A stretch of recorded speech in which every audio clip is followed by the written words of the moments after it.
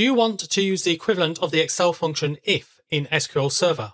You can use double if. This allows you to enter a condition, a value if true, and a value if false. If you want more than two outcomes, you could use nested ifs, or you could use the case expression.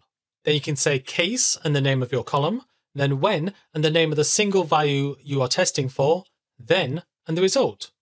And you can have as many when then as you wish. At the end, you can optionally have an else and a result to be shown if none of the whens are true. To finish the case, please add an end and maybe an alias. Do you want to test for a condition? Instead of case field when, you can use case when condition. You can use equals, less than, greater than, and many other different conditions. You can have multiple case when conditions, an else, and you need to add an end and maybe an alias. For more SQL Server tips, please subscribe to this channel. I'm Philip Burton of idodata.com. Thank you for watching and keep learning.